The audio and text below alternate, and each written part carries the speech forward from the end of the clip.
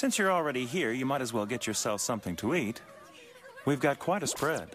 A spread? Uh, with fancy tuna? Fancy tuna? Get some fancy tuna here right now! Add some deluxe sushi. You Damn these filthy rich jerks.